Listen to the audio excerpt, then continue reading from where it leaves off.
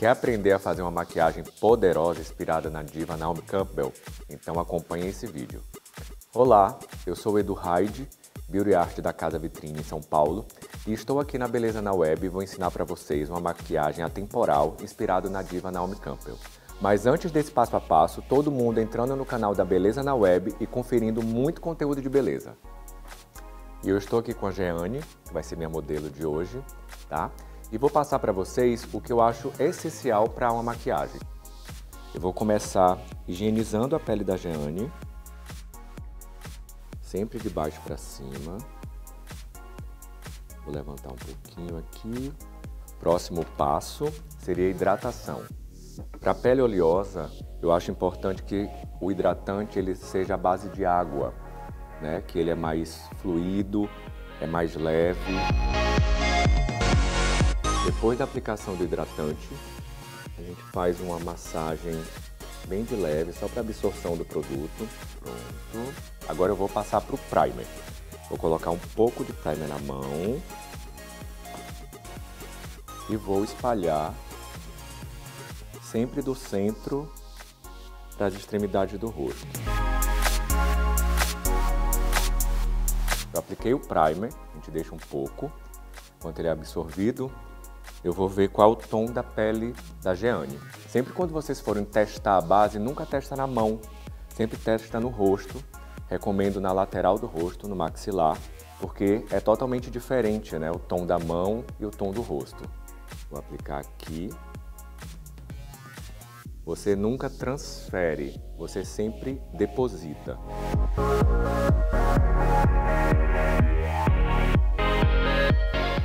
Fazendo todo o contorno com um tom de base praticamente um tom acima do tom da Jeane. Vocês percebem que o centro do rosto deixei sem base, porque eu uso um tom um pouco mais claro. Passei a base, agora vou aplicar um pouco de Fix Plus. Aplico um pouco na buchinha e eu vou com movimentos bem suaves Agora eu vou com um tom de base um pouco mais claro, nessa zona central, que seria a zona T.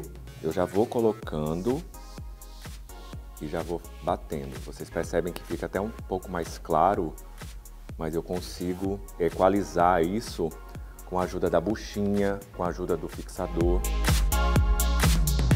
É importante que você venha para essa lateral do nariz. Você faz quase um triângulo né, nessa região abaixo dos olhos. Um pouco em cima do nariz. Na parte superior das sobrancelhas aqui, para dar aquela arqueada, né?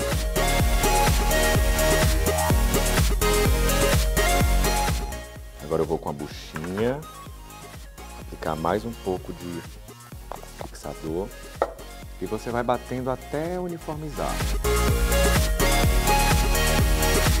Eu vou passar para a parte dos corretivos. Vou com um pincel pequeno e vou continuando essa parte de iluminação. Bem pontuado, um tom abaixo. Eu apliquei o corretivo e agora com a ajuda da buchinha eu vou deixar isso mais uniforme. Aplicado o corretivo mais claro na zona T, eu agora vou finalizar a pele com o corretivo mais escuro fazendo os contornos. Eu vou com o pincel. Na parte da maçã, essa aplicação eu coloco sempre abaixo do osso. E você vai esfumando com o próprio pincel, só para ele criar um efeito de sombreado. Estou dando uma mesclada entre dois tons, um mais avermelhado e um tom mais fechado e um pouco na raiz do cabelo. Vou na lateral, nariz, um pouco na ponta.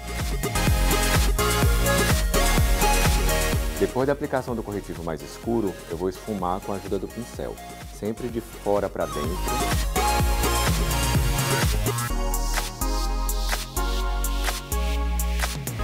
Agora que finalizamos a pele, eu vou começar pela sobrancelha. Eu vou com auxílio de um tom praticamente o mesmo em movimentos no sentido do fio, é só preenchendo alguns pontos e com o pincel eu vou dando uma esfumada. Na parte mais arqueada. E depois só dar uma penteada.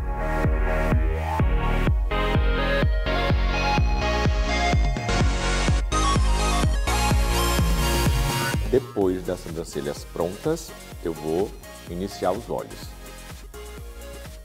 Peguei um tom meio telha.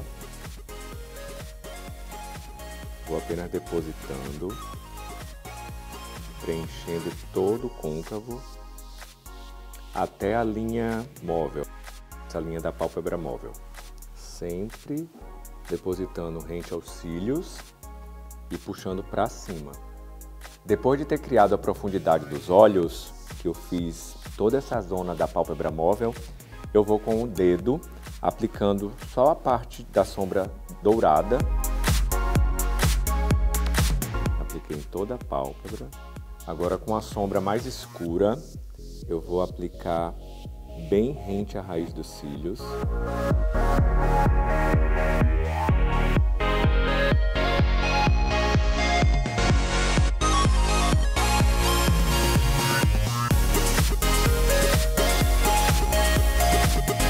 Apliquei a sombra marrom em todo o contorno do olho e dei uma esfumada com a ajuda do pincel para criar esse efeito delineado, mais esfumado. Ele não é um, um delineado contínuo, né? Agora eu vou com a ajuda de um lápis. Passei em todo o contorno do olho. Finalizado o olho, agora eu vou para o último passo, que é a aplicação do rímel. Você aplica o produto bem rente à raiz, faz um movimento para o lado e para o outro e puxa para fora.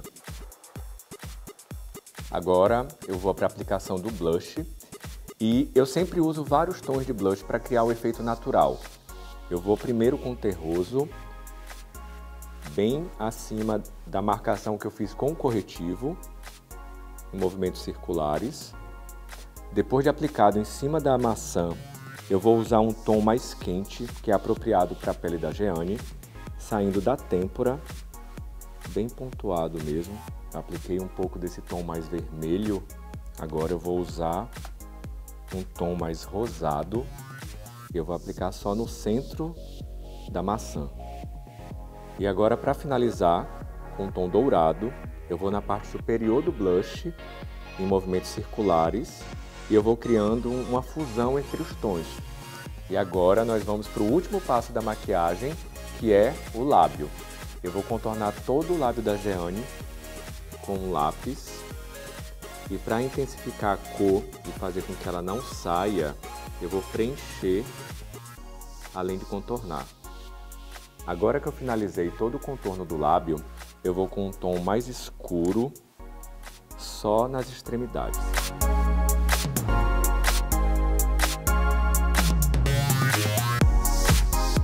vai dar um efeito de volume para os lábios da Jeane.